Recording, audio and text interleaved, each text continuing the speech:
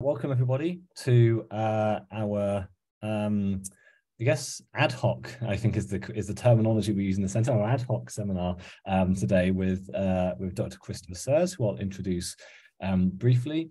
Um, uh, uh, introduce in a moment, I suppose it would, would be properly. I mean, it might be a very fulsome introduction. Who knows? I have not quite got that far so yet.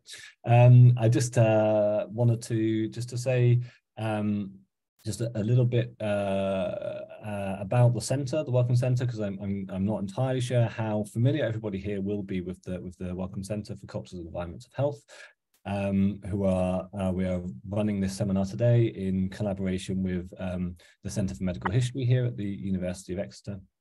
Um, and uh, the Wellcome Centre is a is a Wellcome Trust funded uh, interdisciplinary research centre. Um, and we are interested in exploring um, uh, ideas of how health, illness, and medical knowledge are shaped broadly by uh, cultural practices and beliefs, and with placing um, humanities, arts, and social science evidence uh, in conversation with, with, with, public health initiatives and, and devising sort of innovative and uh, engaged forms of, of research and, uh, and assessment. Um, so uh, before I uh, uh, move on to introduce Chris, I will just do a little bit further self-promoting. I'm going to post a link to the centre in the in the chat and also for our uh, forthcoming events. And please do uh, take a look. It would be wonderful to see you at future seminars. Um, and also just to give you a, a, quick sense of what the uh, the structure for the, the seminar today. So um, Chris is gonna gonna talk for about 45, 40, 45 minutes. Then we'll have a brief um, five minute comfort break. Uh, and when we come back, we have um, uh, a, a, wonderful colleague, um, Sue Smith from our, our uh, I forget the terminology now. I think it's now the Faculty of Life Sciences, um, but please do correct me and I'll introduce Sue more fulsomely uh, when, when she comes back to, to just give some initial reflections and responses. And then we'll open up to a broader um, discussion for people uh, um, until, and we'll run the seminar until about three o'clock.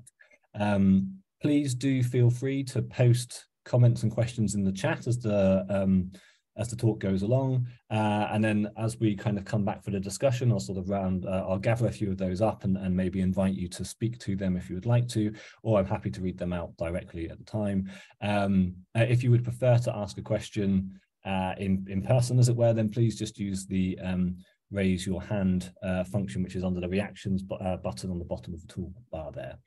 Uh, and one other thing is that we have a, a brilliant live captioner today, Maria, um, who uh, is going to be providing um, uh, the sort of the captions for the Zoom. So if you, again, if you go down to the bottom toolbar, there's a an options there to click um, show captions, and then you can kind of position that around the, the Zoom call as you would like.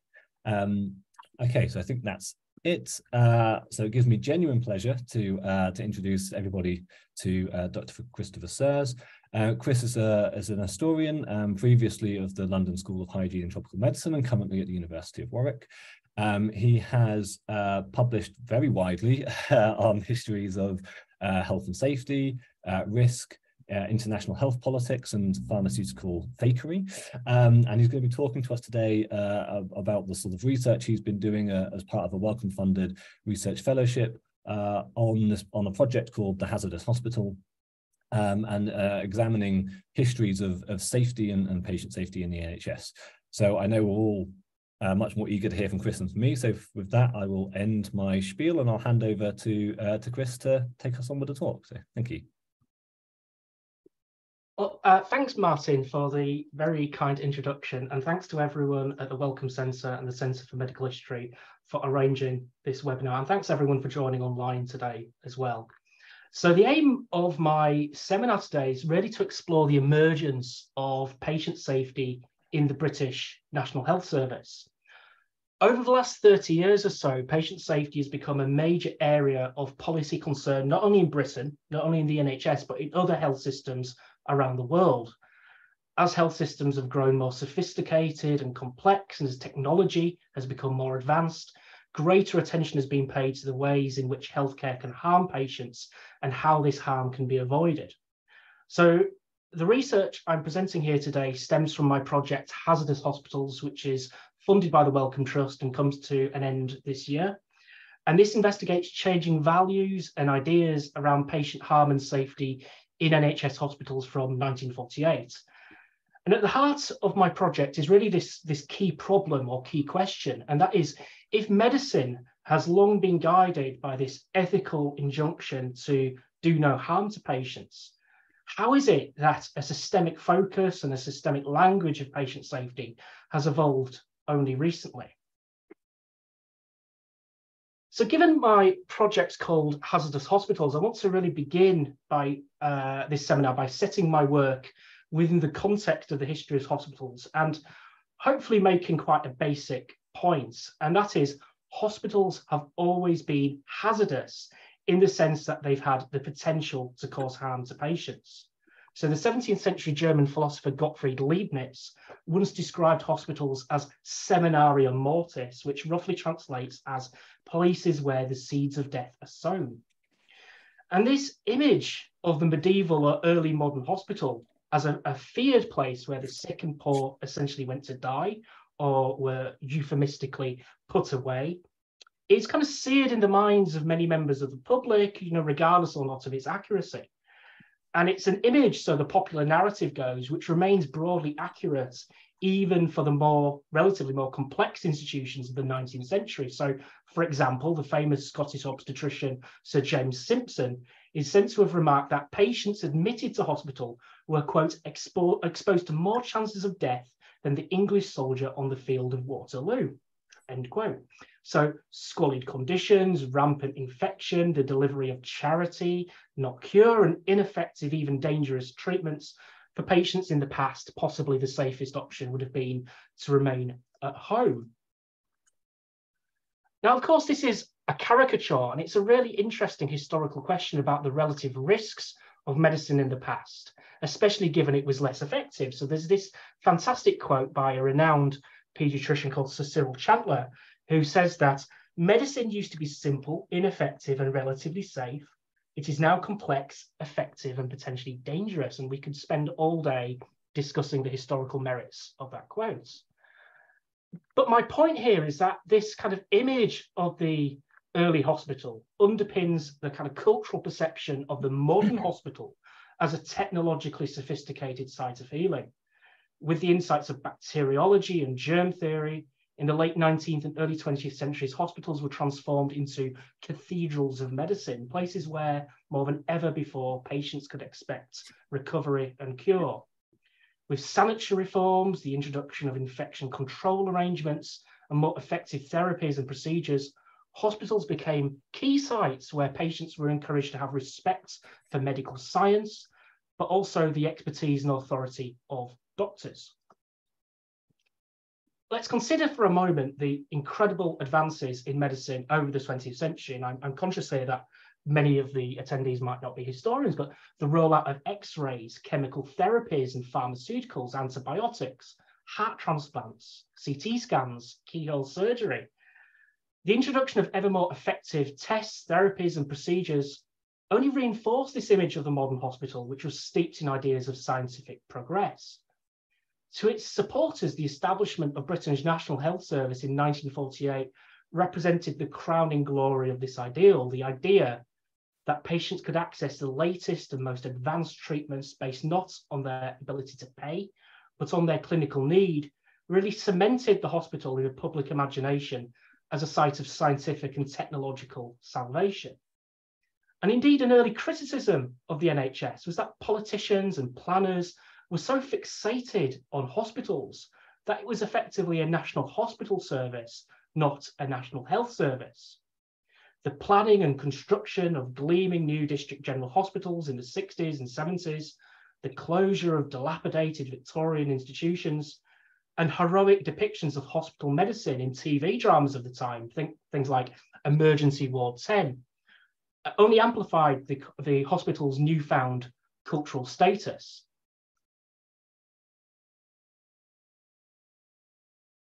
During this period, so in the 60s and 70s, the prestige and influence of hospital medicine was at its peak. The administration of the NHS was led by doctors and medical expertise was highly valued. Patients in this period were more deferent to doctors, although it would be completely wrong to think that they were unquestioning, as histories of patient complaints have shown. However, at a time when ideas of informed consent and patient-centered care are yet to crystallize, and uh, when doctors, especially consultants, wielded enormous power, um, you know, not only did doctors have the power to diagnose and treat as they saw fit with minimal interference, but they alone were deemed capable of determining whether the risk of a particular treatment was, uh, was acceptable for the patient. Yet, what might be called the kind of golden age of hospital medicine, if it indeed existed at all, was relatively brief, continuing for perhaps just 20 years following the Second World War. So, bed numbers in the NHS reached a peak in 1960 before declining, in part because of a focus on cost effectiveness and the favouring of community care.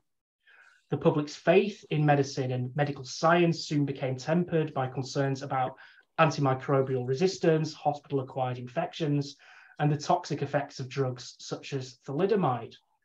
And social critics and academics began to criticize the power and authority of doctors, while patients increasingly exercised their voice as consumers, demanding greater rights, choice, and say in how health services were run. While it never completely disappeared, in recent decades, this idea of the hospital as an intrinsically hazardous space has started to come back with wider awareness of healthcare associated infections and the rise of resistant strains of bacteria such as MRSA, the control of infection has once again become a priority. An emphasis is increasingly placed on short lengths of stay in hospitals and swift discharge. As demands on the NHS have grown, the public has become increasingly accustomed to seeing representations on TV or in the radio of service pressure so nowadays in TV documentaries such as BBC's Hospital, you're as likely to see images of ambulances queuing outside hospitals or bed managers trying frantically to find room for a patient, uh, just as much as intrepid acts of surgery. Various scandals, meanwhile, have exposed disturbing lapses in safety in various NHS trusts and hospitals.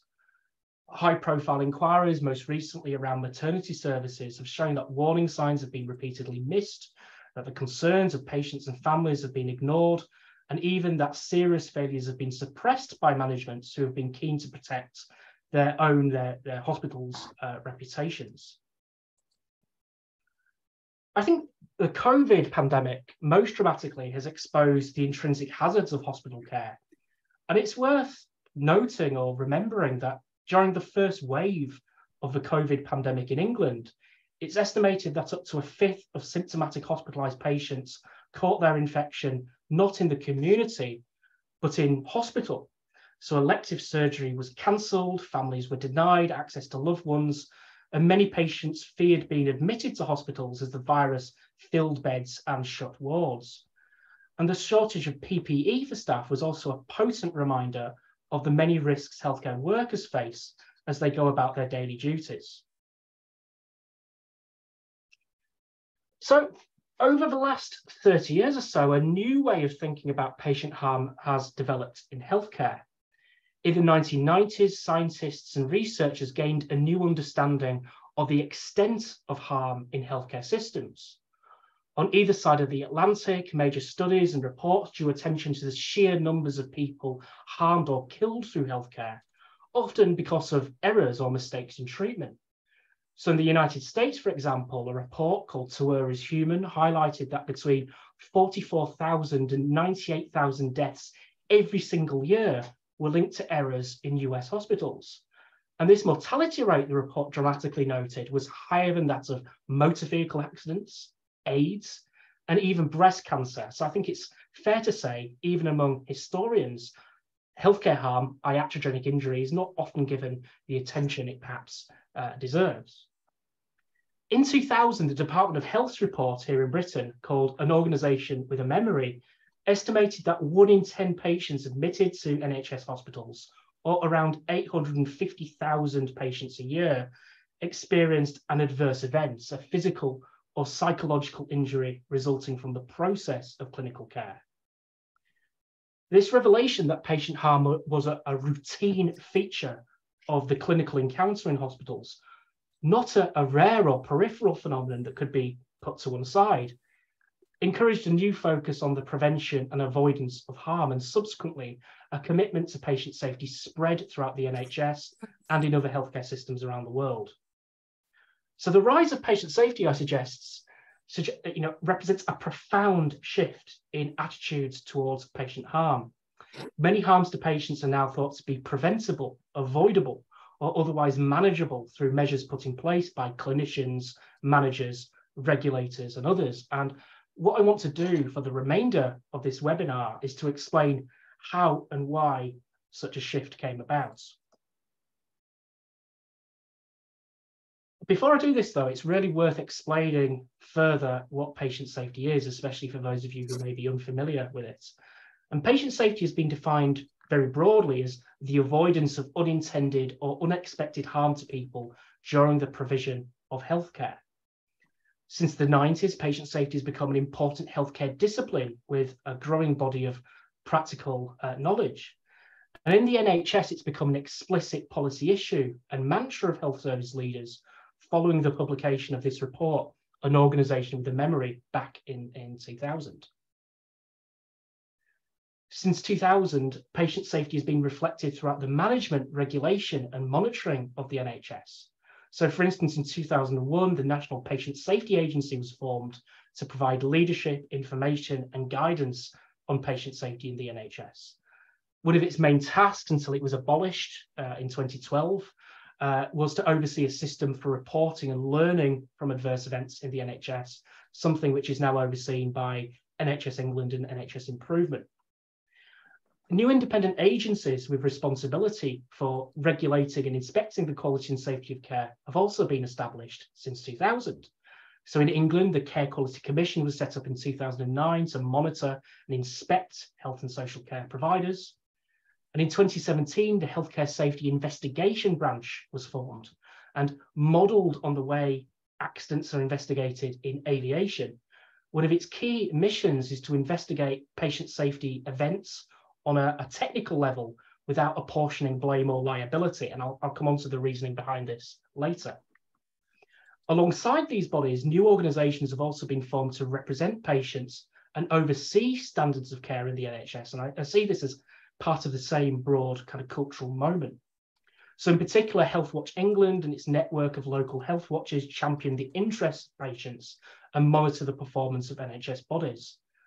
The NHS constitution commits to patient safety as a basic right of patients, while following the pelvic mesh and sodium valproate scandals, uh, valproate uh, scandals, uh, a patient safety commissioner for England has also recently been appointed.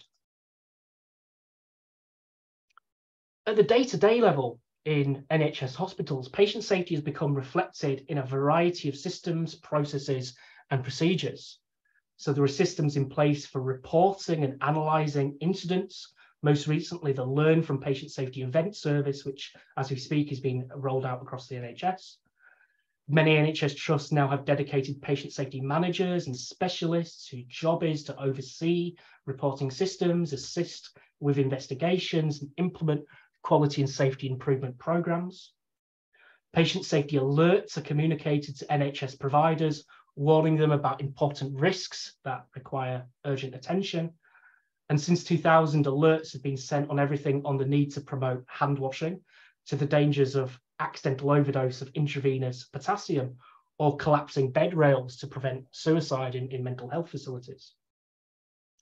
And the rise of patient safety is also reflected in how checklists and risk assessments and also, have also become a, a kind of much more central feature of clinical life. So for example, the NHS was an early adopter of the World Health Organization's safer surgery checklist, designed to avoid major surgical errors like leaving, uh, uh, leaving an instrument in a patient or operating on the wrong patient.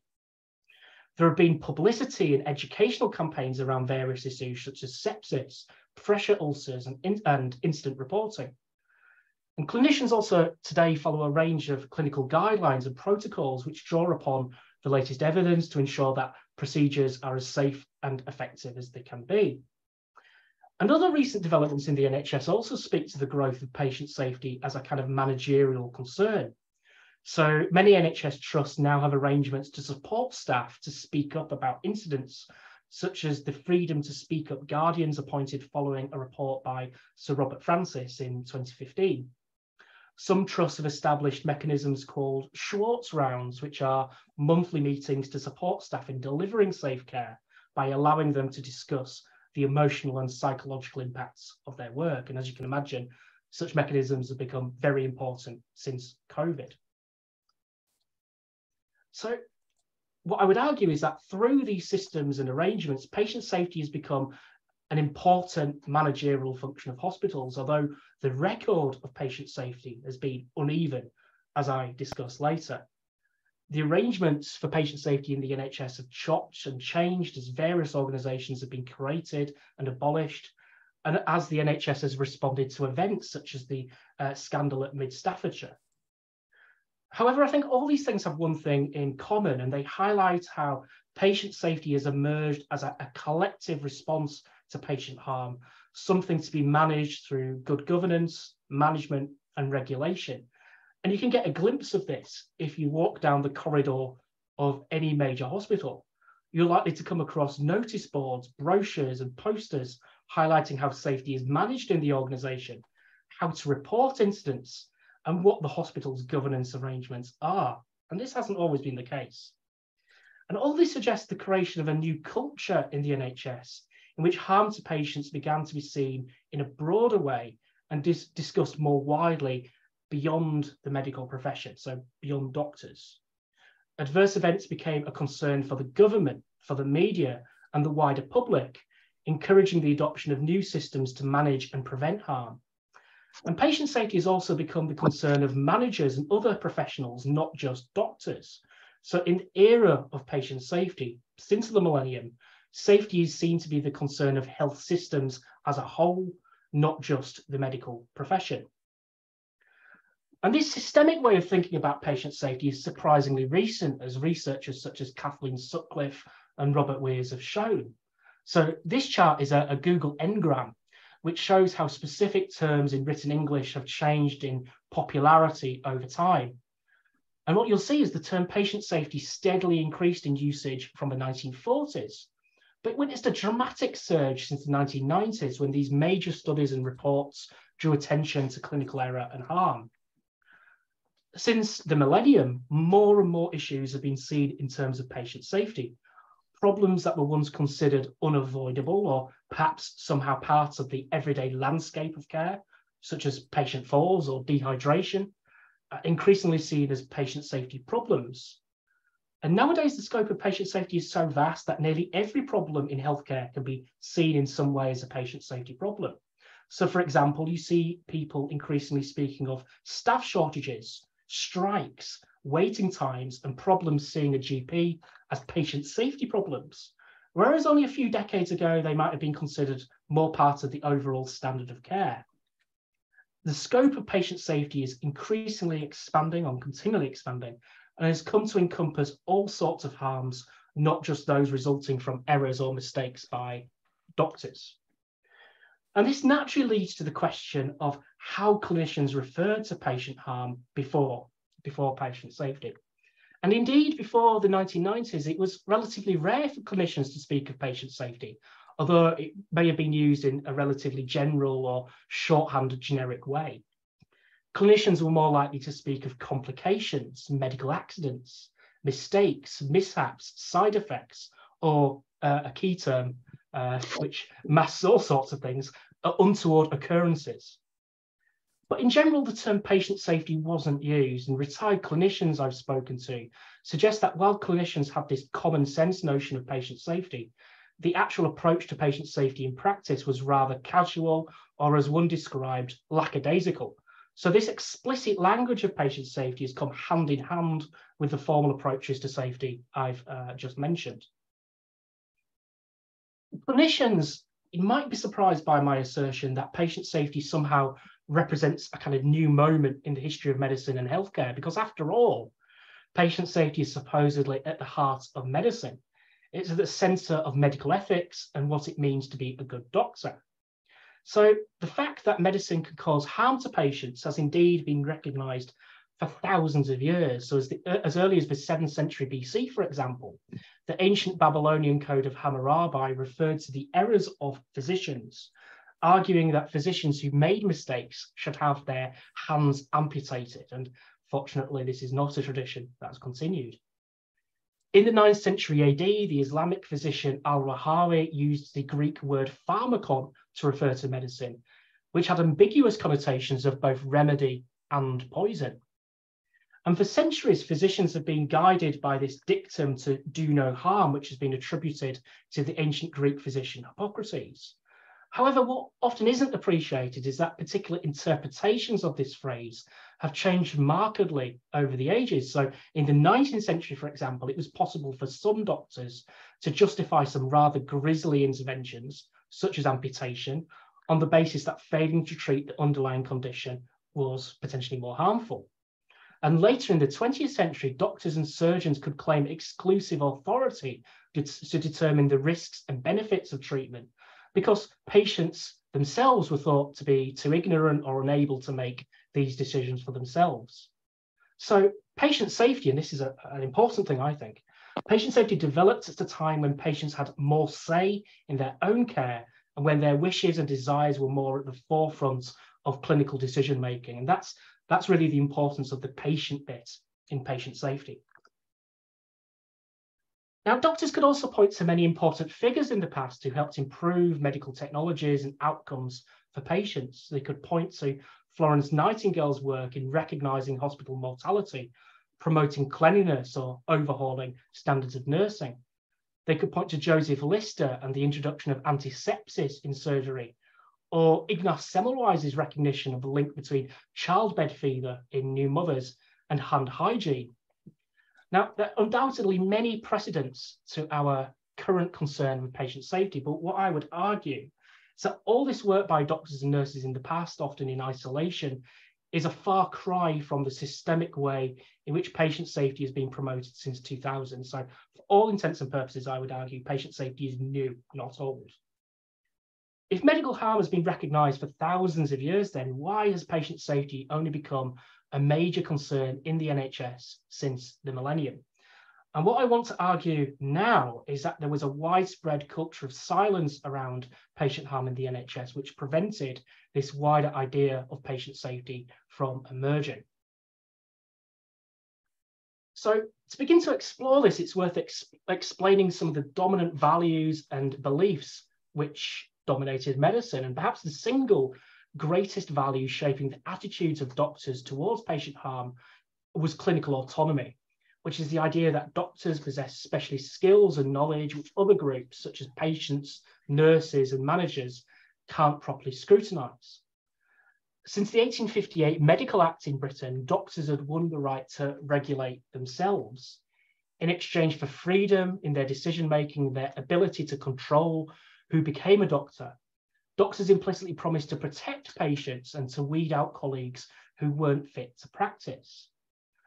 This culture of autonomy and self regulation was preserved when the NHS was formed in 1948 and had important consequences for the safety of patients. So, for instance, it meant that only doctors were able to decide whether care was safe or unsafe. It was the legal, it was the standards of doctors who actually determined the legal standard of whether care could be considered negligence.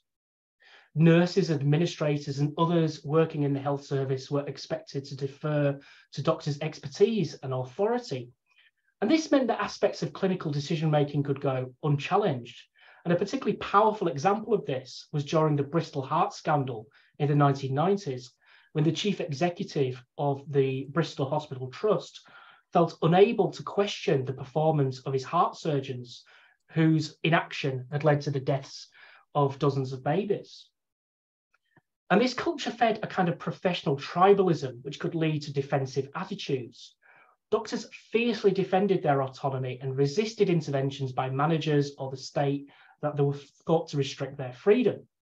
So, for instance, the medical profession opposed the extension of complaints procedures in hospitals many frontline doctors were reluctant to engage in formal processes of audit, which could have potentially revealed safety problems.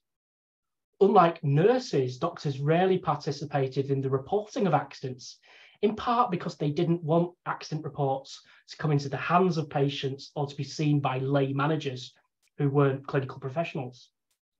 And owing to the strength of clinical autonomy in the NHS, especially before the 1980s, it simply wasn't possible to have this wider systemic approach to patient safety. Another reason for this culture of silence was that there was, and sometimes remains, of course, a deep seated reluctance among doctors to acknowledge their fallibility and the reality of patient harm. In an environment where technical skill is so prized, mistakes or errors were often seen to be the responsibility of individual doctors and to strike at their heart uh, of their professional identities.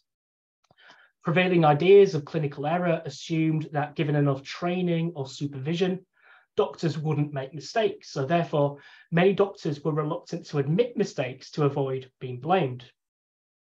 At the same time, studies showed that doctors were often willing to overlook routine errors by colleagues unless they were particularly serious or egregious. So punishment, for example, by striking off a colleague from the medical register was generally reserved only for the worst offenders and it was generally thought to be effective in removing individual bad apples. However, you know, professional collegiality and codes of conduct could also discourage doctors from raising concerns about their colleagues. So as late as 1979, for example, the doctors regulator, the General Medical Council or GMC, advised doctors that deprecating the skills or knowledge of another doctor could be seen as grounds for serious professional misconduct. And it also advised doctors that errors in diagnosis and treatment were usually not matters for the GMC. Now, besides the consequences to doctors of disclosing error, one of the most important factors which prevented doctors from speaking up about errors or mistakes was their fear of being sued. And this ran really deep. In fact, one law, law lord, Denning, remarked in 1954 that for doctors, being sued for, for, by a doctor was like falling onto a dagger. His professional reputation was as dear to him as his body, perhaps more so. So he's quoting Shakespeare there. In 1990, an anonymous doctor told the Guardian newspaper how patients trust their doctors. They have to because their lives are in our hands. Sometimes we have to tell little white lies just to preserve that trust. The lies are less blatant than they used to be because patients are more informed, but it is still preferable to keep minor medical errors quiet to avoid damaging legal action. Now, what I would argue is doctors' fear of being sued is, is really curious given the hurdles faced uh, patients faced in, in, litigating, often simply due to, uh, to, to receive an explanation of the harm they'd suffered rather than any real desire for compensation. Litigation was costly time consuming and emotionally exhausting. It wasn't uncommon for cases to last over a decade. If cases failed, claimants could be expected to pay the defence's costs, which could be completely ruinous. And in fact, it wasn't uncommon for claimants to actually sell their homes. Legal aid was very difficult to secure, and hospitals could often refuse to hand over the patient's records, uh, such as accident reports and things like that uh, and doctors were unwilling to provide evidence that cast into doubt the competence of a colleague for the reasons I've uh, explained. The consequence of all of this was that harm to patients was generally kept under wraps, in-house, you know, something of concern for doctors only. Doctors actually had under their control a variety of ways to respond to patient harm, and I've, I've mentioned audit already. Uh, confidential, confidential surveys were often performed of deaths in particular specialties, and mortality and morbidity conferences could often be held by doctors following a serious complication or an unforeseen event. You'll notice, however, that these things were largely controlled by doctors. And at the level of NHS management, virtually nothing was known about the extent of adverse events in the NHS until the turn of the millennium, and that's striking. Increasingly by the 1990s, regional managers in the NHS were informed of the most serious incidents, and these were those which were thought likely to attract media attention, political attention, or those which were thought to invite litigation. Rather worryingly, however, little was done with this data to determine patterns in harm or areas that required improvement. And this speaks to how much of the NHS was engaged in reputation management rather than prioritising safety. So one striking example of this is that one NHS region's 24-hour hotline for reporting serious incidents, in fact, it, was London, uh, the 24-hour hotline here was actually run by a PR company. Elsewhere, uh, you know, serious untoward incidents were often managed by media teams or political uh, liaison teams and so on. Now, so far I've, I've mainly mentioned doctors, but it's worth noting that the culture of silence extended to other professionals in the NHS too, such as nurses. So in nursing, the culture of subordinates to doctors, respect for hierarchy and solidarity with one's colleagues could mean that instances of patient harm were suppressed, even deliberate acts of abuse and neglect. So from the late 60s, a string of official inquiries exposed appalling acts of abuse and neglect in long-stay institutions for the elderly, disabled and mentally ill. Official reports drew attention to widespread failures to act upon complaints by patients, the bullying and victimization of staff raising concerns in the absence of formal systems of inspection and complaint handling, which could have potentially revealed service failures. And there were many reasons why such toxic cultures could develop in certain institutions. So many mental hospitals, for example, were remote on the outskirts of villages or in the middle of the countryside. In some institutions, staff actually lived on site.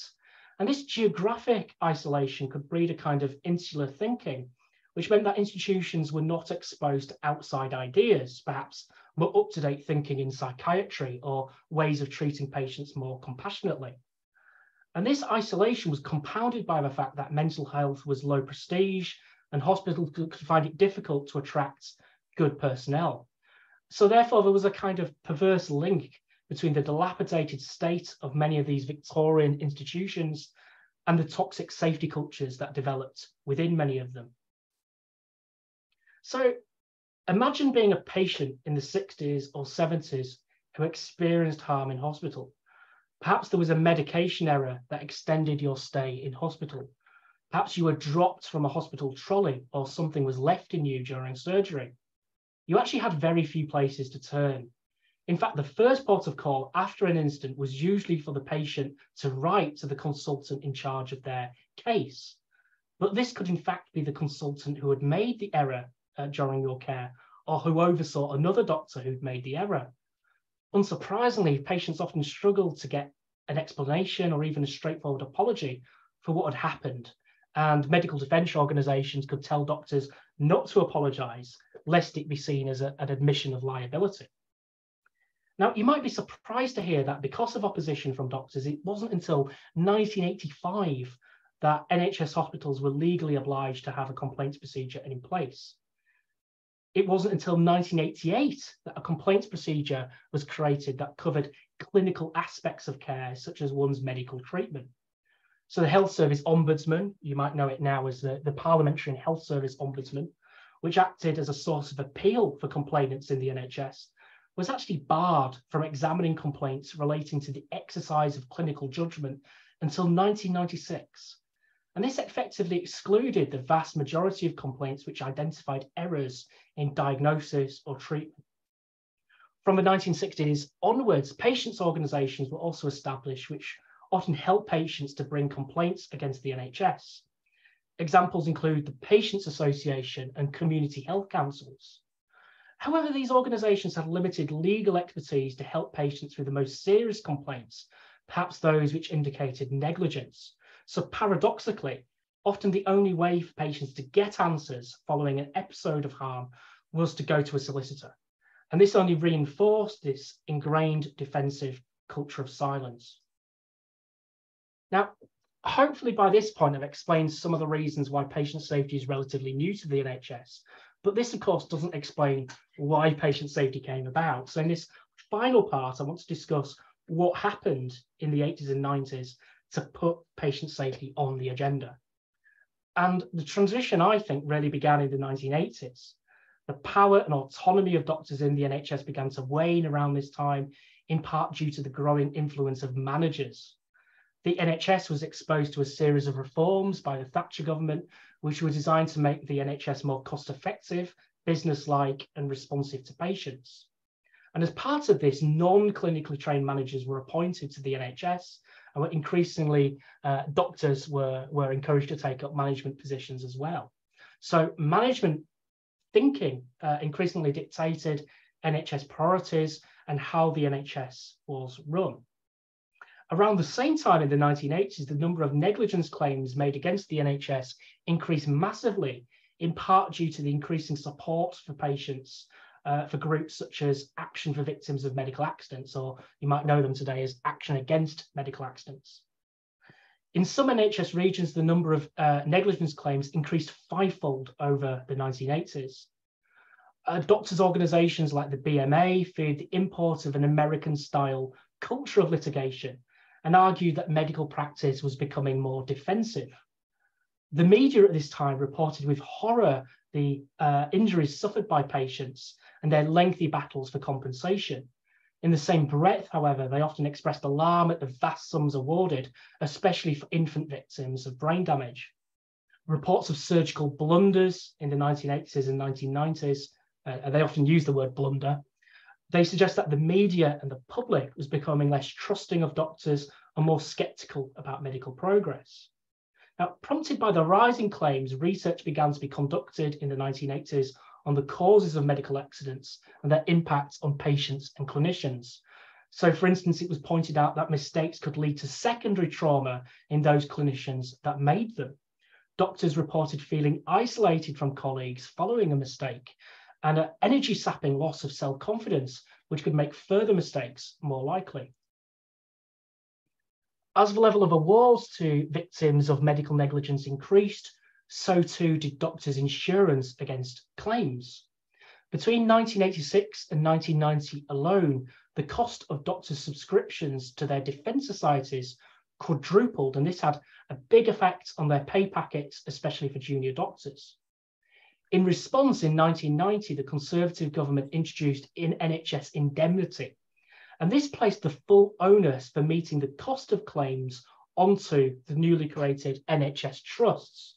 So no longer would doctors working exclusively within NHS hospitals have to take out their own insurance, as had been the case since the NHS was established. In 1948, doctors actually had demanded to take out their own insurance uh, because despite being salaried employees of the health service, it meant that they had the opportunity to defend their own reputations and to organise their own defence. Now, the consequences of NHS indemnity for patient safety were enormous, since hospitals now had a direct financial incentive to tackle the financial cost of claims, as well as the situations, the adverse events that gave rise to them. So hospitals began to employ dedicated risk managers and set up reporting systems and other mechanisms which are now integral to patient safety. So one of the most commonly used incident management systems in the NHS today is something called DATIX, and this was created by a defence firm in the 1980s as a consequence of what I've just uh, mentioned. So the NHS as a whole now had a managerial interest in reducing clinical incidents. It was no longer purely a professional matter. By the 1990s, the medical profession in Britain was facing damaging questions about its ability to protect patients. Negligent doctors had long been tabloid fodder, and the sheer, num- the, the, the sheer number of scandals exposed by the media and patient groups in the 1990s meant that these questions became inescapable. Indeed, with every passing year, there seems to be some new medical scandal, each more shocking than the last. So, for example, there were several high profile cases of sexual assaults. There was the case of Rodney Ledward, who styled himself as, quote, the fastest gynecologist in the Southeast after allegedly performing seven hysterectomies in under four hours. He and he was struck off after a series of errors made during operations in Kent. There was the case of Richard Neale, another gynecologist who had been struck off the medical register in Canada following the deaths of two patients there yet had been seemingly free to join the medical register in Britain. And the conviction of the GP Harold Shipman for murdering 15 of his patients, and who, of course, was potentially responsible for hundreds more deaths, was perhaps the most shocking of all, calling into question the fundamental trusting relationship between doctors and patients. And as well all as uh, all of these, there was the scandal revolving around the death rate for infants undergoing heart surgery at Bristol. Media attention focused on how long it took the death rate to be acted upon, the reluctance of managers to intervene, and how it took a whistleblower, the anaesthetist Steve Bolsin, to bring the case to public attention. In fact, Steve Bolsin ultimately had to go to Australia to continue his practice. So all these cases were accompanied by frenzied campaigning and massive publicity by patients. Uh, and the regulation of British medicine as a result fell into crisis. It's against the backdrop of this crisis in medical regulation that we come back to this report, an organisation with a memory published in 2000. And this report was commissioned by the Labour government, partly in response to lobbying by patient groups such as the victims of Rodney Ledward. And the report underlined how the NHS was appalling at learning from its mistakes. The same errors and the same tragedies kept being repeated again and again, and the systems in place to tackle them where they existed at all were poorly integrated and ineffective. Among the report's recommendations was the need for a new nationwide system for reporting adverse events, a programme of basic research into patient safety, and a way for lessons to be learned from adverse events and communicated throughout the entire NHS. These functions were originally fulfilled by the National Patient Safety Agency, which was established in 2001, but as I mentioned before, eventually it was abolished. But in this way, the emergence of patient safety reflected a collective responsibility for the prevention of clinical harm. The whole system had an interest in preventing harm, not just clinicians. At the centre of the report's thinking was a new way uh, of thinking about healthcare failures. Research by psychologists highlighted that most failures in healthcare were not caused directly by individuals. Rather, they were often the products of failures in systems and processes elsewhere in the organization. And you might think this was rather commonsensical, but for the reasons I've described, in healthcare, error was often seen to be the responsibility of individuals. And this kind of systems thinking was commonplace in other industries such as aviation, but had yet to be applied to healthcare. And this is so, so. This is called this image here is something called the Swiss cheese model by the British psychologist James Reason. I won't go into it here, but if anyone has questions about it in the questions and answers, I'll be happy to talk about it. But much of the subsequent focus on patient safety in the NHS has been to move away from an individualized notion of blame to consider the systems factors that give rise to healthcare failures. So patient safety in a way represented a, a systemic approach to patient harm in more ways than one. Not only was the system responsible for patient safety, but patient safety incidents were often seen to stem from system problems. So I want to end my talk with a, a brief reflection on the record of patient safety quite clearly, since 2000, there has been frenetic activity around patient safety in the NHS. But recurring scandals around the quality and safety of care in NHS hospitals, most recently maternity services in Kent and Nottingham, highlight that the NHS still has a long way to go to embody a genuine ethos of patient safety rather than treating it as a, kind of performative or box ticking exercise. So, all too often, the insidious culture of silence I've spoken about persists in many institutions, from mid-staffs to Morecambe Bay and East Kent. All too often, the concerns of patients and staff have gone unheard, and it's required concerted action by the media, patient activists, and campaign groups such as Cure the NHS, uh, NHS for action to be taken. Now, a lot of the focus on patient safety to date has been on improving systems and processes and creating new arrangements to encourage staff to prioritise safety. However, changing underlying cultures in the NHS has proved a far more difficult prospect. While patient safety is certainly higher up the agenda than it was 20 years ago, many attitudes, values, and behaviours among staff have proved resistant to change. And one of the main revelations of my research is just how slow cultural change is. It often took, it took many decades for the wall of silence to be dismantled just enough for patient safety to be put on the agenda in the first place. it goes without saying in a way that you know the NHS is also a truly vast and complex organisation. It's the largest employer in Britain and one of the largest employers in the world. In fact, only Walmart, the Chinese Red Army, and the US Department of Defense are larger. The number of NHS employees is about the same size as the populations of Birmingham and Nottingham combined. That's just in England. And this gives an idea of the sheer size of the mission to get everyone in the NHS pulling in the same direction and putting safety at the heart of what the NHS does. And this could strike everyone, I'm afraid to say, as a rather pessimistic uh, note to end on. But what needs to be borne in mind is that patient safety started from almost nothing all this activity around patient safety at a systems level has only really been going on for about 20 years. So patient safety is still very much in its youth and has a lot to learn. A lot of patient safety campaigners and advocates are discouraged by the glacial uh, place of pace of progress so far. But in the, in the quest to improve patient safety, there is clearly a lot of historical baggage to overcome. And hopefully it will not take another 75 years the age of the NHS, for safety to become a reality for all NHS patients.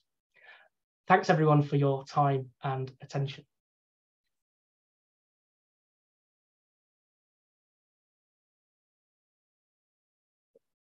Thanks, Chris. That was a, a really brilliant and rich paper. Um, so should we have five minutes now and come back at half past? Um, and then we'll we'll have a response from Sue, and then we'll move into some discussion. Um, great. Okay, we'll see people in five minutes.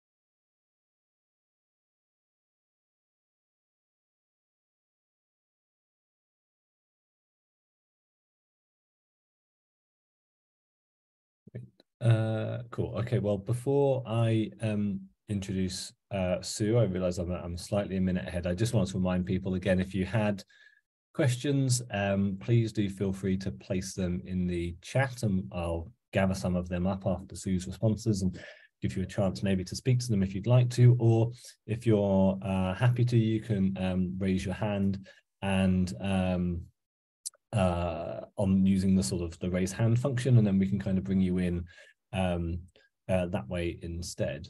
Um, so I think about half past. So uh, I'd just like to introduce everybody um, to someone we're very lucky to have with us, um, uh, Sue Smith, who is a, a, senior lecturer in the Faculty of Health and Life Sciences here at Exeter. She was originally a, a molecular geneticist, so um, uh, somewhat of a polymath here uh, amongst us, um, having studied at Edinburgh and Bristol universities, but then uh, sort of relinquished lab work for a role in um, a critical uh, safety, a safety critical industry, and joined the NHS uh, in 2003, working in research and clinical effectiveness. And it was during this time that she got involved in uh, postgraduate teaching of healthcare staff, which led her to Exeter, where she is continuing to teach and explore the leadership of patient safety and understanding how real clinical work gets done. So, um, Sue, I'm going to hand over to you to offer your sort of your set of reflections, and then maybe we'll give Chris just a sort of chance to respond to those before we move into a broader sort of question and discussion session. Sounds good. Okay, thank you, Martin. And thank you very much, Chris, for an absolutely fascinating talk. I really, really enjoyed it. And you covered so much territory. Um, and I think that reflects the broad um, expanse of this subject area in general, but it was a really, really fascinating talk. Um, so thank you very much for that. Um, and you covered it, you know, such a lot of territory very engagingly. And I think um, the territory, the size of it reflects the sprawling nature of the subject matter in its own right. It has kind of grown as health systems have grown. And I guess that's what makes it quite tricky to get to grips with patient safety is it's it's an organic thing and it's evolved and there are all sorts of pressures um, sort of uh, structural sociological um, psychological all sorts of things are all in that mix um, and i wondered oh you made me reflect that when you talked about that common sense notion of patient safety that professionals worked with for many years um, as best they could, not knowing as much as professionals do these days. And I guess it was striking that perhaps the moment at where patient safety became defined um, was when that common sense approach was really felt not to be sufficient any longer and and that was a really interesting reflection for me and made me think about what we need to do in future to try and capitalize on that.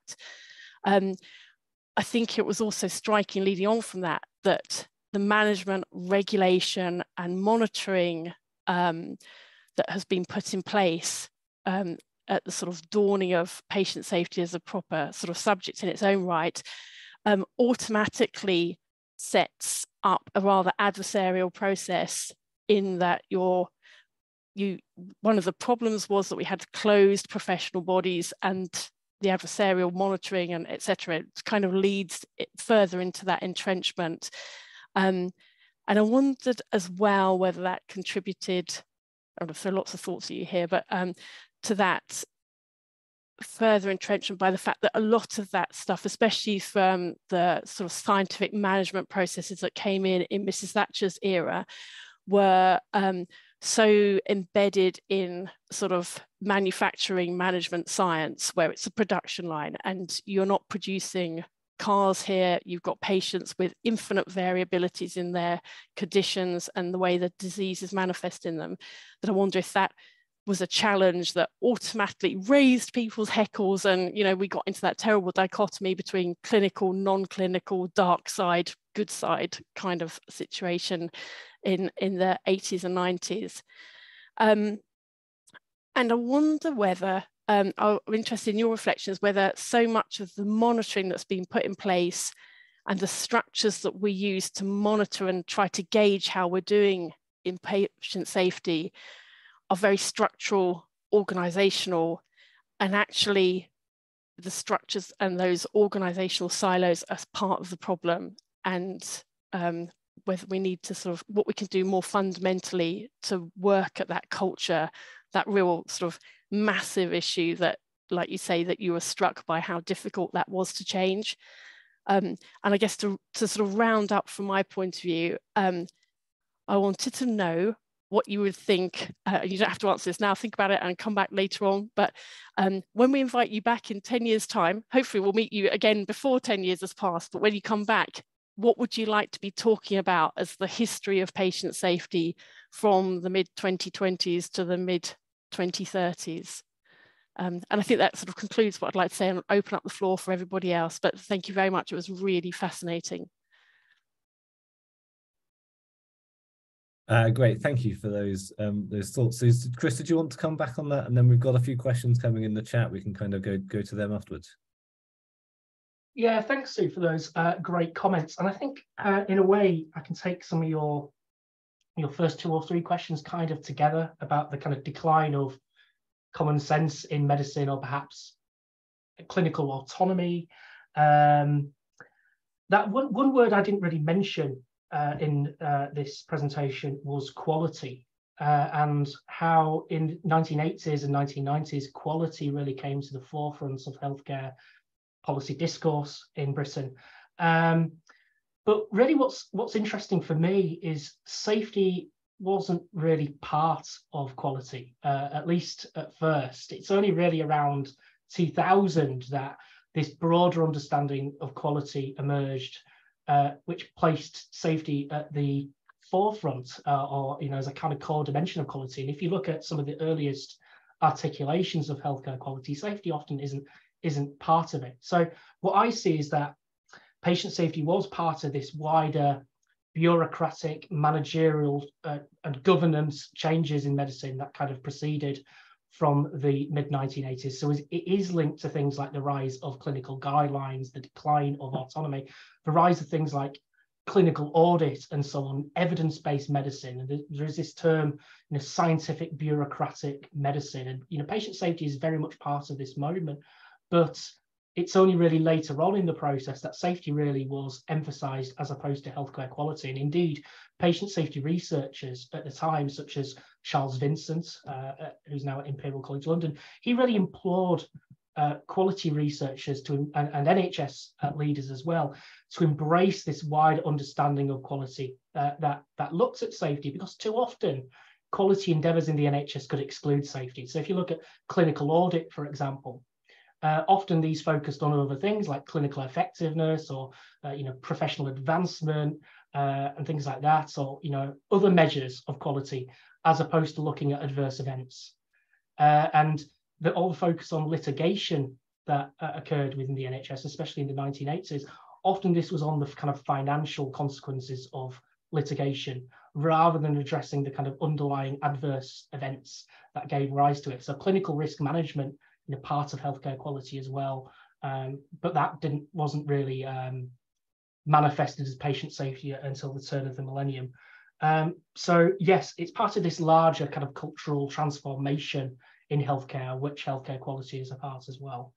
Um, you mentioned about structural silos and how they were how they are part of the the problem, and yeah, that's that's one of the things that keeps coming up. Part of the problem, of course, is that you know governments change and governments always want to put their kind of mark on healthcare policy by transforming the landscape of the NHS. And just in the last 20 years, there's been a number of massive sweeping kind of structural reforms of the NHS. Patient safety has continued to be a problem. And one of the dangers, of course, of uh, you know these institutional reforms is that they can take so long to bed in and they create a lot of disruption in the meanwhile. Um, so, you know, we're barely over the last NHS reforms and the, the new ones are probably going to be coming in. So there is this kind of uh, period of, of transition when things are often up in the air. And often the, the kind of chopping and changing doesn't really address the underlying factors. I think it's a great shame in a way that the National Patient Safety Agency was abolished. It acted as a kind of singular centre for patient safety in the NHS since its establishment in 2001. But ultimately, it was axed amid kind of cost cutting by the coalition government in 2012, and were also concerns about the NPSA's management. But in a way, it's become very fragmented, and the, the kind of governance arrangements around patient safety in the NHS are truly labyrinthine. Like you, as a as a kind of layperson, you would struggle to understand, you know, the role of NHS resolution or the healthcare safety investigation branch. And all these things are splitting up and changing all the time. So there's the separation now of like maternity safety from other aspects of, of patient safety. Um, and this fragmentation is a, is a kind of huge problem. Uh, and I've, I've, I've come across other examples of siloing as well from a, a kind of earlier period. And I think one of the biggest examples of siloing is the, the kind of gap between patient safety and the health and safety of staff. And one thing which COVID has really kind of brought to the surface is just how the two are interlinked. And in fact, the, the, the theme of the World Patient Safety Day, I think it was the year before last, was on staff safety because increasingly it is recognized in patient safety research that staff working conditions are patient safety conditions. But if you look at the kind of history of health and safety in hospitals as well, it's been totally siloed from patient safety. And I, in fact, I once interviewed a former director of patient safety in the NHS, and I, I asked her, I, I asked her, you know, is it common for for a health and safety officer in a hospital to sit alongside a patient safety officer to address kind of common risks that can address people? And, and the answer is no. Often they they're entirely different departments. I mean, maybe the board of hospitals may get reports from both of them, but these things are totally siloed. And it, so this siloing is a problem. But it comes on to you know the, the third question, which is what I would like to be to discuss in you know 10 years time. And I'm it's hard not to be pessimistic given the uh, you know investigations currently underway in maternity services and scandals continue to appear and toxic cultures continue to be unraveled. I mean, look what's going on in, in Birmingham, for example, at the moment.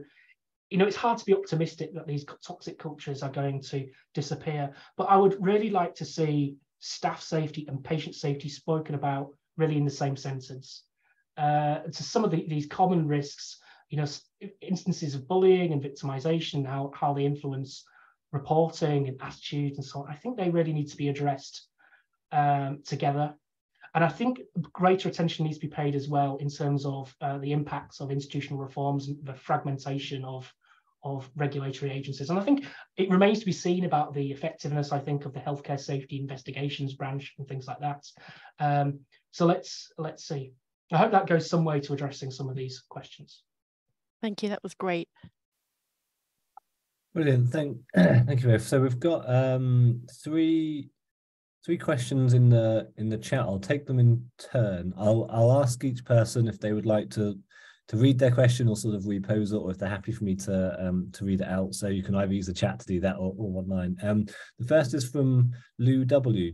Would, would you like to um, speak to the question, or would you like me to to read it out on your behalf?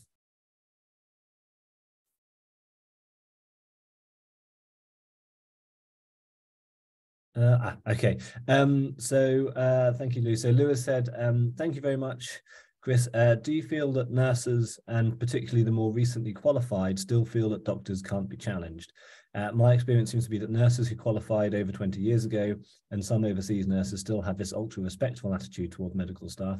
Uh, newer staff seem to treat each other as more of a team. Um, does that does that ring true with some of the, the work that you've been doing, Chris? I, I, think it varies, to be honest. I think that can persist in many institutions. I think one thing that healthcare scandals recently have shown is just how tribal groups of staff can be within hospitals. I mean, look at you know, maternity services, for example, the fallout between, say, midwives and obstetricians and things like that. Um, I think that in very, very general terms, obviously, collaborative working, teamwork has been a kind of much more you know central focus of clinical care uh, you know, since the millennium. Uh, and increasingly, I think, at least compared to the past, I think nurses can challenge doctors more than they used to. But I think tribalism persists all too much in many institutions, even among nurses themselves. I mean, it's not just not questioning doctors, but potentially, you know, questioning their superiors as well. You know, sister, uh, you know, ward sisters and so on, who perhaps have positions of authority. You know, these these uh, toxic cultures often stem from uh, professional tribalism falling out between different groups of staff within hospitals. But I think in, in very, very general terms, I think the situation has improved from where we were 30 years ago. Great, thanks, Chris. Um, we have a, a, fellow LSHTM alum, um, Judy. Would you like to, to, would you like to ask a question? Uh, yeah, sure. Um, Thanks so much, Chris. That was su super interesting, uh, as expected. Um, and I guess you've touched on the answer to this question a bit in your response to Sue, but I, I just thought your argument about kind of how professional dominance had squashed attempts to take patient safety seriously were really convincing. But then when you kind of come to account for your second question, you know, well, why did it then have this take off?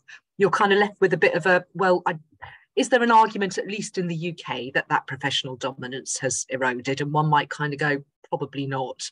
But whether that there's anything about the kind of comparison in the US where, and I don't know whether it's true that patient safety was perhaps a bit earlier to take off there. And that might have been some of the erosion of that clinical through HMOs and so on. There was a bit less control clinically, but just it'd be interesting to have your reflections on on on that kind of asymmetry, I guess. Thanks, Julie. Great, great to see you, and uh, you know, thanks for the uh, question uh, as well. Um, so yeah, I mean, there are there are many symmetries between the U UK and US in terms of the factors that uh, underpinned patient safety. Well, so to, to sort of briefly recap, I mean, patient safety in the United States really kicked off following this report by the US Institute of Medicine in 1999 called To Err is Human. And the British report, an organization with a memory, appeared a year later. And although an issue, uh, sorry, To is Human was eventually cited in an organization with a memory, what's really interesting is when you go through the kind of papers of the committee which wrote an organization with a memory, there wasn't much direct discussion between what was going on in the UK and what was going on in the US. Um, it, so patient safety in the UK really came about due to a kind of unique combination of circumstances in Britain, namely the kind of concern with litigation, uh, namely the kind of regulatory crisis, but also lobbying by patient groups as well, uh, which were really, really active. And of course, these things continue, uh, you know, were, were important in the US as well. So broadly, similar things happened. There were concerns about litigation. There was activism by patients. Um, but what's really interesting is what happened in the UK was was due to a kind of unique set of circumstances that converged around 2000. There wasn't a direct dialogue between policymakers in the US and UK.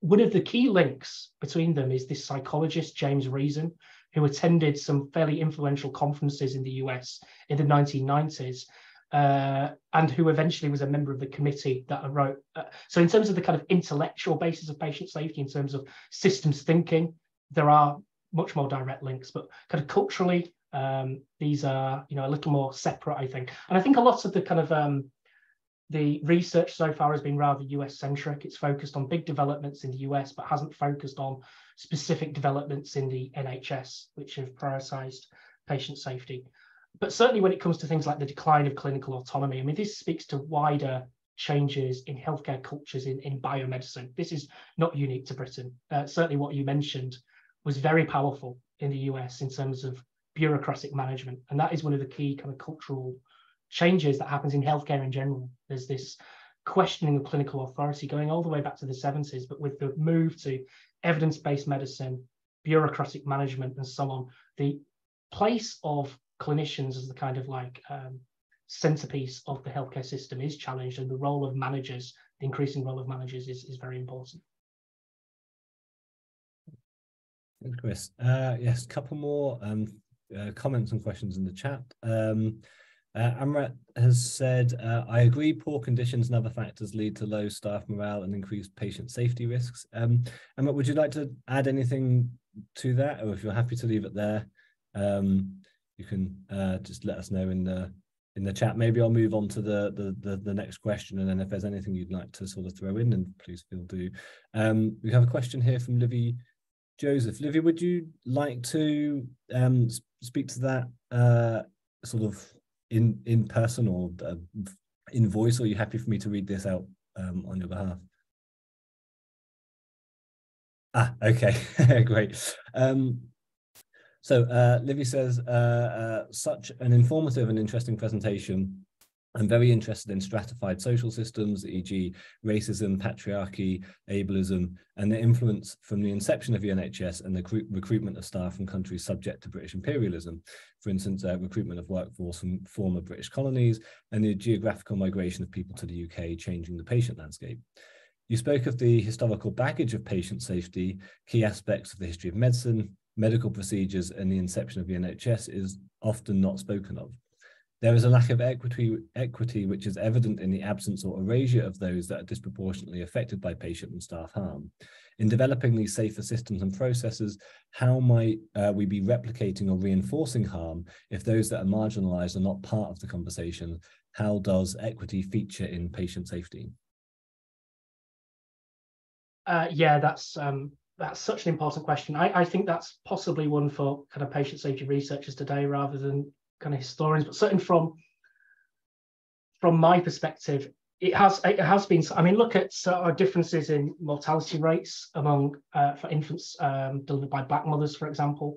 Uh, there are huge disparities which remain uh, in patient safety, and I think are increasingly important. Um, but yeah, these these these disparities have have always existed, but I think they're increasingly coming to attention uh, today. Okay, great. Um, thanks, Chris. And, and, and Livia, if you'd like to, um, to, to follow up, please do use the use the the chat. Um, Su Suzanne, did you want to come in on that point? So, did you want to move come in on that point specifically? Uh, yeah, uh, yeah, I was just if if that's okay, I was just going to say that I think absolutely that um, that the the equality I think is becoming a bigger and bigger issue in some of the more central bodies and like um, organizations such as the Health Foundation are really beginning to take that much much more seriously, both in terms of the impact um, on patients uh, that are not treated equitably for whatever reason, and also looking at the impact, uh, and this very much um, obviously heralded from or hailed from uh, the COVID era, you know, the impact of staff um, and the lack of equality across different staffing groups uh, and the disproportionate bad effects on on on different categories of staff. So I think it's coming from two different directions now and and hopefully there's a sort of real head of steam there with that to realize that actually we can't carry on like that it's just unacceptable um, and and hopefully that's one thing that you'll be talking about in 10 years time chris that how on earth did we ever put up with it for so long and we'll be thinking that's just outrageous um, and and will think we were highly primitive to ever, ever tolerated that kind of disparity in care um, for this length of time. So, but I think it is very much becoming more of the agenda, the central sort of argument in in all sorts of circles now. So I hope that's a little bit of optimism. Mm-hmm. And, and one thing I hope as well is now, you know, a staffing strategy is hopefully being put in place very, very slowly, I might add, and you know, remarkable that it hasn't really been done so far. I'm hoping we will we will see some kind of uh, benefit from a staffing strategy because I think this focus on staffing levels will will obviously impact patient safety in so many areas. Great, thanks. Um, yeah, I've I'll have a, I've got a follow up question to that, but I think I'll hold off on that so that we can bring on as many people as possible. Um, Jocelyn, um, did you did you want to um, ask your question directly? You're happy for me to um, to read it out on your behalf. Ah, okay. Um, so Justin says, um, thank you for a great overview and excellent paper, Chris. Uh, again, returning to Sue's point, I'm thinking about where the NHS might be in 2033. What are your thoughts about the recurrent findings in national investigations that the voices of patients are persistently ignored by professionals and managers? Uh, yeah, I mean, this has been a repeated thing. I mean, what I find disturbing is you can go back to some of the earliest reports around healthcare failures in the NHS scandals. If you go back to the Ely scandal in the late 60s around conditions in institutions for the intellectually disabled, the elderly, and so on, you find many of the same patterns being repeated over and over and over again. And it's part of the reason why the NHS has lacked an institutional memory. The same problems have kept being repeated. And it speaks to these ingrained cultures, which I think systems and processes often don't get to. There's been so much focus on kind of superficial bureaucratic systems, on things like reporting and so on, but relatively little attention on actually changing cultures. And that's where I think that mechanisms to bring staff together to more openly discuss their conditions like Schwartz rounds and so on are so incredibly important.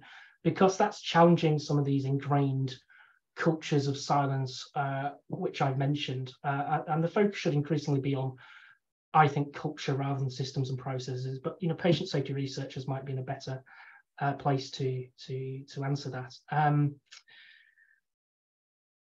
so yeah, I'm I'm I, I am hoping. I mean, one of the things that it's only really relatively recently that mechanisms such as freedom to speak up guardians have been brought in. And just to kind of recap, these have been brought in following a report by Sir Robert Francis in 2015. Uh, and these are supposedly staff within NHS trusts who ask, uh, uh, kind of act for ad, as advocates for staff who can be approached to address concerns. But ultimately, of course, they are employed by, you know, the NHS trust. You know, they are creatures of management in some degree. So it remains to be seen just how effective systems like freedom to speak up guardians will be. And you know, certainly, you know, the evidence so far seems to be, be a bit discouraging.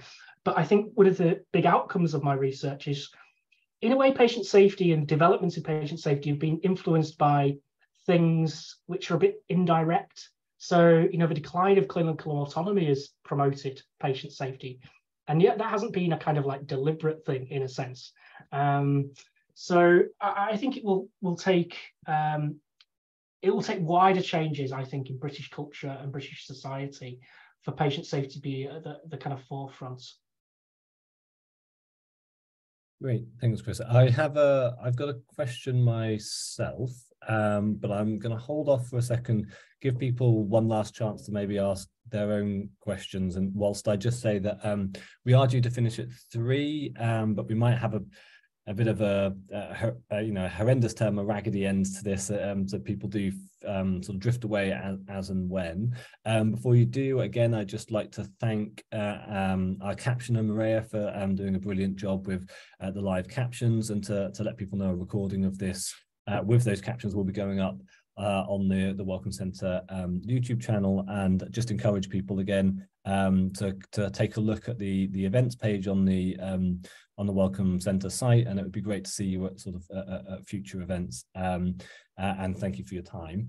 Um, so I, I, just wanted to sort of, I guess, pick up. I've got loads of questions, and, and I think um, I might have to email some to you, Chris, because yeah, I don't want to uh, bore people with, uh, with, them. But I suppose just picking up on um, on the sort of the question of um, of equity and um, and Libby's point about the extent to which um, you know, the, the, the, sort of history of patient safety might be a white history in a way um that you know of, of of usually in sort of policy terms the kind of the the the universal patient is often considered to be the kind of white british patient probably middle class um most likely to be a kind of uh you know a, a fluent um uh oh sorry uh Okay, yeah, I'll, uh, there's another question that's popped up.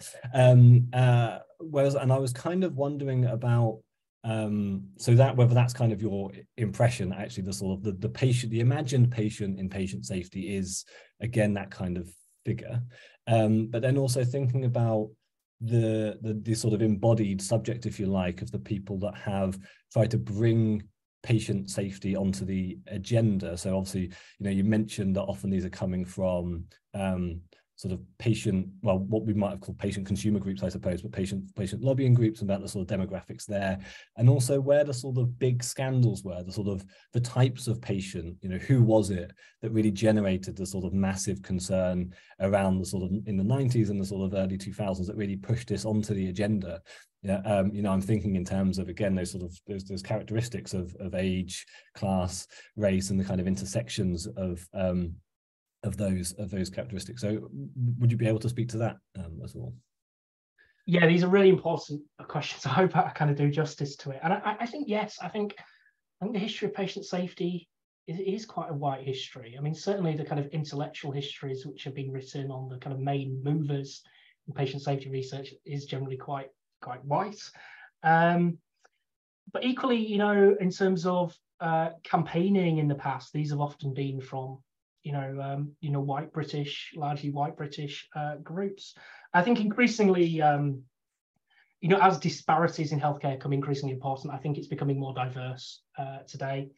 Uh, but certainly, um, how things have how things have changed. So, you know, back in the 1960s, a lot of the focus was on conditions in institutions, as I mentioned, for the elderly and intellectually disabled, and the campaigning was largely around this.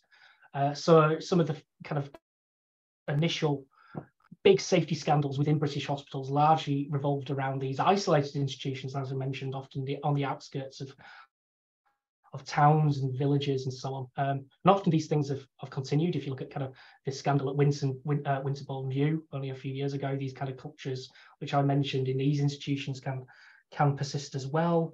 Uh, by the 1990s, there was a kind of more a concern with clinical safety per se. Uh, so uh, there we have kind of the Bristol Heart scandal comes to mind. There was the scandal around cervical smears in Kent and Canterbury. So there was a number of these scandals, but the sort of general movement is from a concern with um, concern around uh, the intellectually disabled and institutions for the elderly back in the 60s and 70s to a more general concern with clinical safety in the 80s and 90s if you look at mid staffs, once again, that was a, often a general concern around the, the kind of standards of care in this hospital. Um, clinical safety was a, a, major feature there, but arguably more so it was on the general standards of care, you know, particularly nursing care. And now, of course, a lot of the focus is on maternity safety, which I find really, really interesting. So there's been the, that, that's the kind of general kind of movement I've been seeing, and a lot of the campaigning has been rather specific around, around this. So uh, often patient activist groups have you know um, kind of revolved around particular NHS trusts, particularly groups of patients who have been affected.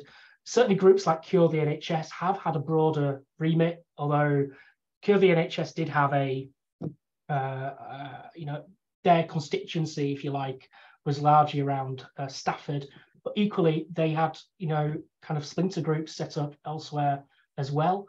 Um, so there hasn't really been often we often there's this tendency to speak of the patient safety movement as quite a monolithic thing where actually it's been a, usually a variety of different groups. Uh, often with different aims different purposes different notions of responsibility and blame and things like that there's there's not been a single coherent patient safety movement. Rather a lot of different groups campaigning for different purposes and often being being at odds with each other.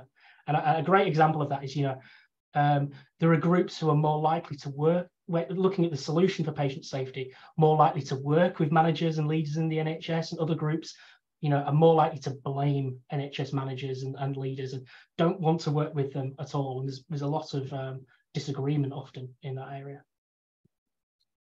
Great, thanks, Chris. Um, we've got uh, one last question and another comment. Maybe before um, uh, I, I read those. I just want to say thanks again for a brilliant presentation. And maybe we could just give one last sort of round of applause as as people um, disappear, and then I'll and then I'll ask those and put those to you. So um, uh, thank you, uh, thanks, Chris. It's been uh, uh it's been great. Um, so yes, um, so a comment from Jocelyn, just to follow up on what you're saying. Um, I agree that culture is at the root of the problems in relation to patient voice. I'm not hopeful about the freedom to speak up guardians. They're one of many top-down, well-intentioned initiatives that are under-resourced and do not generally get traction in NHS trusts.